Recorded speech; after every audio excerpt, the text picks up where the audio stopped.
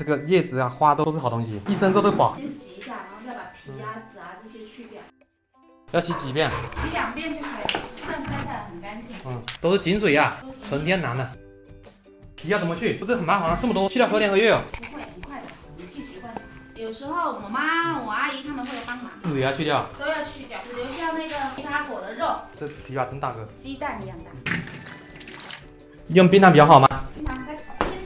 只有枇杷果肉跟冰糖，对。熬成膏。嗯，要熬多久？烧掉两捆柴就可以了。等它慢慢的这个融化嘛，哈，嗯再给它搅拌嘛。最费时间就是剥皮跟这个熬煮，对，费时间，谁都会煮。但是都要有营销枇杷。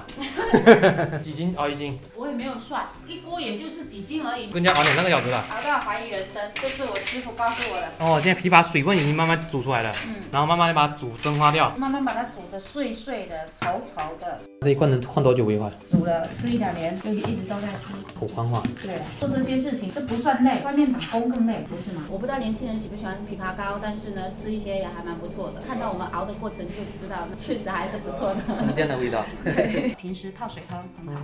这个是枇杷膏，它里面只有枇杷跟冰糖。这个勺子要一定不能有水分的，水分就容易发霉了。这里面都是果肉的，满满的果肉。如果不怕甜的话，可以直接吃的，可以涂面包吃的。当早餐涂的，建议泡温水喝了。喜欢甜一点，枇杷膏多放一点；不喜欢甜的话，枇杷膏少放一点。这一整个就是枇杷果肉的。